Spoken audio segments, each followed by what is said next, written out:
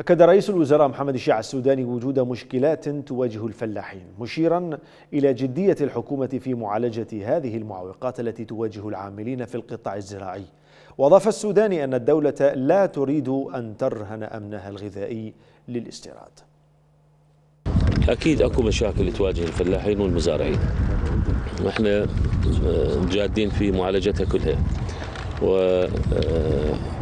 وأكثر الحلول إن شاء الله خليناها على السكة مثل ما يقول. بارك الله فيك. منظومات الري بالرش خلينا لها تخصيصات مالية وراح نستمر بها ونعطيها بشكل مدعوم للفلاح. إحنا اليوم لله الحمد بركة الجهد الفلاحين وأكيد التوفيق من الله سبحانه وتعالى. عندنا خزين بالحنطة. كدوله ما نهتم بأسعار القمح ارتفعت نزلت لا سامح الله صارت حرب هنا صارت أزمة.